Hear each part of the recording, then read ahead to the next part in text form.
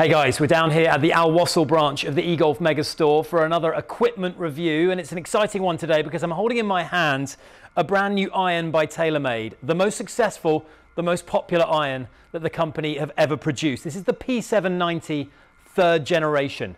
When the first generation was launched a few years ago, it was immediately successful and they've made incredible improvements to this golf club, which has been versatile, it's been very popular, it's appealed to a wide range of golfers, and we're going to delve into some of the technology and some of the improvements that they've made to this third generation P790 to hopefully get you hitting the ball higher, longer, straighter, and more consistent.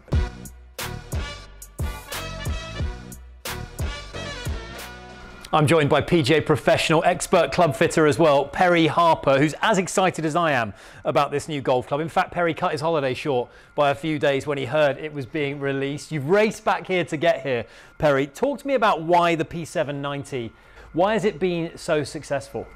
Uh, when the P790 was launched back in 2017, it was groundbreaking because it was one of the first times which was forged and forgiving. Naturally, you wouldn't see that on the market. A forged iron would naturally be slightly smaller, um, but they managed to make it nice and forgiving, fast, long, straight, and still look good and feel good. So who doesn't want that? No, yeah. I mean, a few years ago, 10 years ago plus, when you were looking for a forged iron, you needed to be a really low handicapper to be able to hit it. You needed to have a very consistent strike pattern to get you, you know, the best out of that golf club. Whereas now, we've seen it and we've spoken about it before technologies have, have almost caused the categories to merge slightly. The players' clubs at the, at the bottom end of that spectrum have kind of come up to meet the game improvement clubs in the middle. So now you're getting game improvement clubs that look rather like players' clubs from years gone by, and the players' clubs have, have actually become more forgiving as a result. So that's immediately what I see when I look at this golf club. And this golf club is noticeably smaller in terms of the head, it's thinner than the previous generation of P790. But when you look at the Club Perry, that does not look to me like a game improvement iron. No, so the groundbreaking technology behind the reason why it looks a bit smaller is they've introduced a new carbon uh, steel, so they call it the 8620, um, which has allowed the head to be smaller, but they've actually increased the sweet spot size by almost 60%. So if you can make, so they've managed to make the face easier to use and more forgiving, so you can naturally lose the, some of the ugly parts that don't look so good.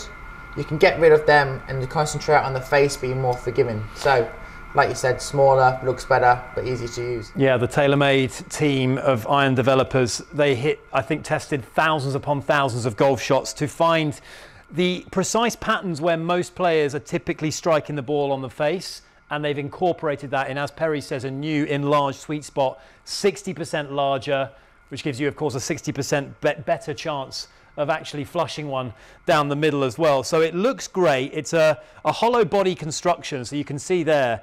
It's um, what I would refer to as a, as a muscle back. It's kind of, there is not much of a cavity here. They, that's, again, part of the new technology, isn't it, Perry? Yeah, so on the outset of it, it might look like a like a muscle back or a blade, but actually on the inside, it's completely hollow.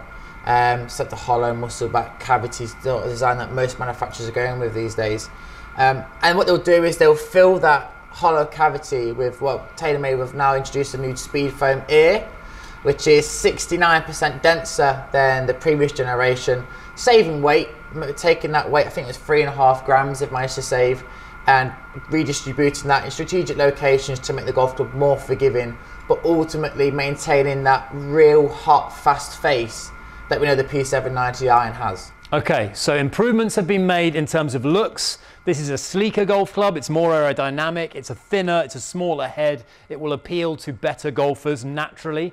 And in terms of performance as well, speed has been added, performance has been added, forgiveness has been added by this new speed foam air technology. Of course, uh, decreasing the density inside this hollow core and actually saving weight. And that's, of course, we've seen it with the driver market as well. That is the holy grail for these club manufacturers to save as much weight as possible, to produce as much speed as possible, and to produce as hot a face as the regulations will allow. Okay, great insight there from Perry. We've got the GC quad set up here down at the Al Wasl store. Let's give this a hit. Let's see what the numbers are.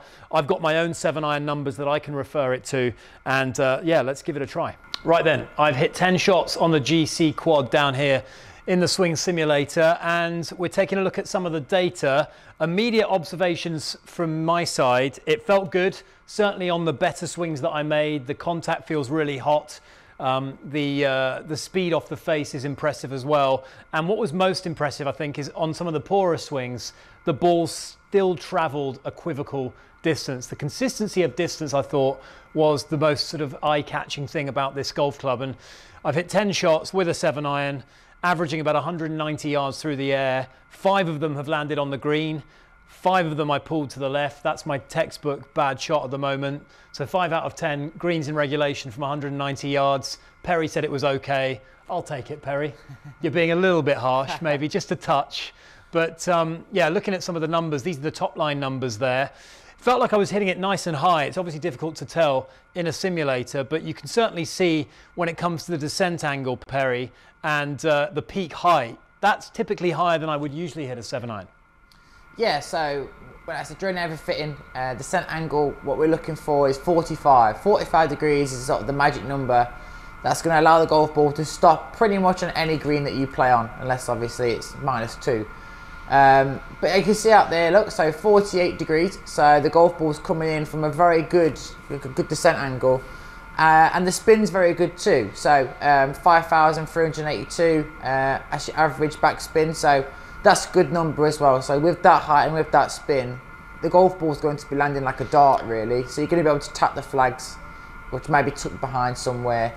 Um, good. Perhaps previous generation of irons have been longer or as long but what's impressive about this one, I think, is those numbers, the descent angle, the height that you're, you're, you're, attaining with a seven iron, and you're still not losing distance, you're still getting it out there. I mean, my average carry was 188 yards with this golf club, an average total of 197, which is certainly longer than I would typically hit my seven iron. It's about 10 yards longer than my current seven iron. Um, now, of course, my current seven iron is geared towards more control and perhaps not, perhaps less distance. So again, that's a matter of personal preference as well. But I thought what was really interesting, Perry, was when you look at the carry distance, not much discrepancy among those 10 shots. No, that, that, uh, that's what TaylorMade have really, really worked on with this iron, is trying to give you as much consistency in distance through, throughout all the shots that you hit. So you can see there, you got at the very bottom of that screen there, you've got plus minus four yards. So for you hitting 10 shots from 188 yards, you'd like to hope that you're going to hit the green most times with that. You're not going to come too short, you're not going to go too long. So four yards for anyone, whether you was off plus two or off 22, plus or minus four yards is unbelievable. It's great. The third generation P790. I think it's going to prove as popular as its predecessors, that's for sure. Again, impressed with it. Haven't hit a, a huge number of shots with it, but the shots that I have hit, um, I've seen a lot of consistency in terms of distance. I've seen a really nice ball flight as well. I've certainly on the on the Pro Tracer here on the, the swing simulator, and well, the GC quad numbers have kind of backed up those assertions. Really consistent with the carry distance. Very impressed and very happy with those numbers. Total distance as well, and it's just a great looking golf club to boot. So I think this will appeal to a huge range of golfers, whether you are a low single figure handicapper, whether you are a mid teens handicapper looking to make further improvements to your game and still wanting that forgiveness, still wanting that distance that, that a game improvement type of iron can provide.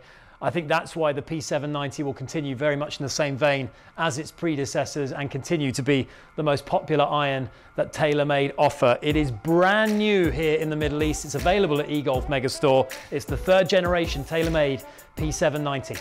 If this review has been useful for you, please do subscribe to our channel and watch out for loads more great content coming your way very soon.